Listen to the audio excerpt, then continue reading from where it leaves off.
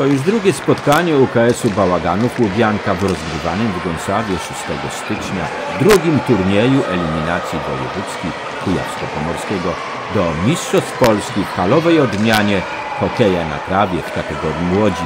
W swym pierwszym meczu tego turnieju Bałagany wygrały z UKS-em Rogowo 6 do 3 i jak dotąd były jedynym zespołem bez porażki po dwóch turniejach, mając na swym koncie 9 punktów.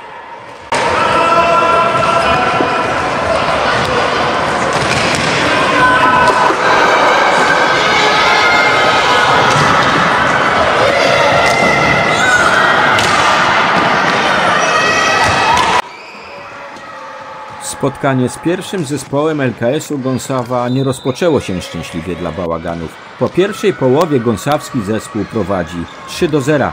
Druga połowa spotkania to przebudzenie bałaganów, a ich najlepszy zawodnik Gracjan Działek daje popis swych strzeleckich umiejętności, wyprowadzając bałagany na prowadzenie i do wygranego spotkania.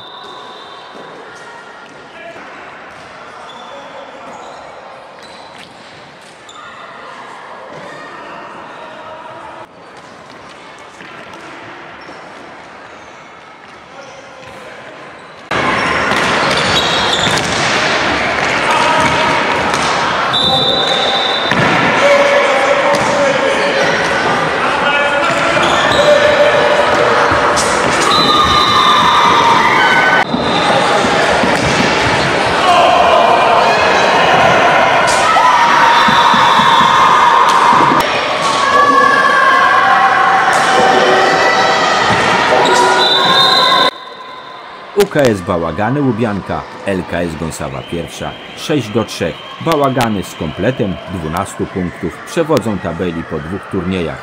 Następny turniej zostanie rozegrany 13 stycznia w Rogowie.